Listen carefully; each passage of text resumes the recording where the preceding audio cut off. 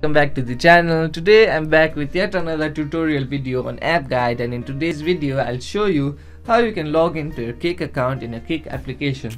So you have a Kik account that you use to message your friends and families and you can't figure out how you can log into that account. You've clicked on the right video. Today I brought some simple steps for you to log into your Kik account in very easy way. So watch this video till the end Follow the simple steps I do and you'll log into your Kik account in no time. So to log into your Kik account, you must have the Kik application installed in a mobile device. If you haven't installed the Kik application, go to the Play Store or App Store respectively and download the Kik application.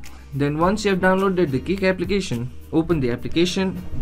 Once you open the application, you land on an interface like this. Here you'll have two options, one to sign up and one to log in. So to log into your Kik account, what you want to do is tap on the login option. Once you tap on the login option, you'll land on an interface like this. Here, you'll need to enter the credentials to your Kik account in order to log into your Kik account. So go ahead and enter your username or email ID and enter your password. So once you enter your username or email ID and enter your password, tap on the login button. Once you tap on the login button, you'll successfully log in to your Kik account.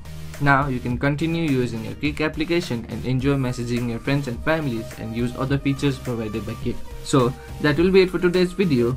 Hope this video was helpful for you. If it was, hit the like button, subscribe to the channel and I'll see you in the next video with some new information. Goodbye.